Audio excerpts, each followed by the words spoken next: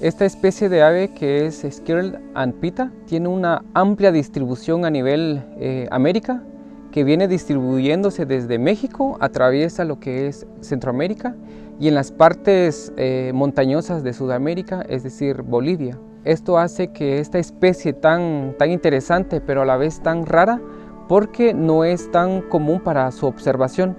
Por lo tanto, es una especie muy especial eh, en el caso de Guatemala. El estado de conservación de la especie es de menor preocupación porque teniendo su amplia distribución, eso hace que la especie no sea, tan, eh, no sea catalogada eh, en peligro de extinción. Se cree que hay entre 7 a 11 subespecies que todavía faltan para hacer su investigación, entonces la que tenemos acá en Guatemala es una de esas que podemos encontrar en América. Los registros pues empezaron en septiembre del año pasado.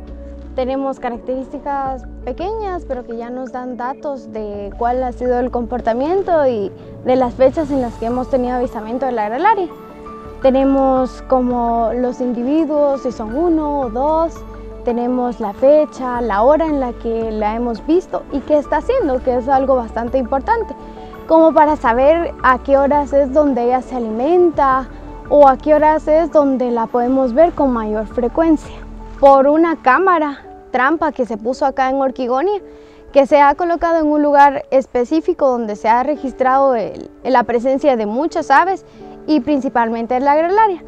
Esta cámara pues vino con ayuda de, unos alemanes, unos niños pequeños que nos han estado apoyando dos años atrás y con esto pues hemos tenido eh, capturas de, de esta ave, pequeños videos y comportamientos ya físicos que se han demostrado en esta cámara.